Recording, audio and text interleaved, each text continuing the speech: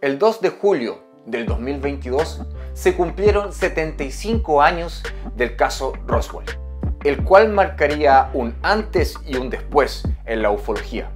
Con los años, el hecho sería conocido mundialmente, debido a que se había estrellado un objeto volador no identificado en una granja de Nuevo México, generando versiones contradictorias, ya que el ejército de Estados Unidos confirmaría el hecho, pero al día siguiente lo negaría.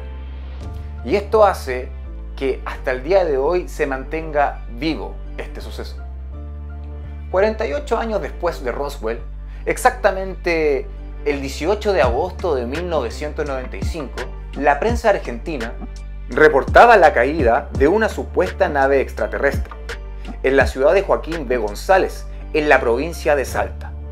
Este suceso tendría un testigo clave, un piloto civil, quien en su avioneta particular llegó al lugar del impacto, donde encontró partículas de lo que parecería ser aluminio molido, con árboles arrancados y quemado a lo largo de 2 kilómetros por 500 metros de ancho.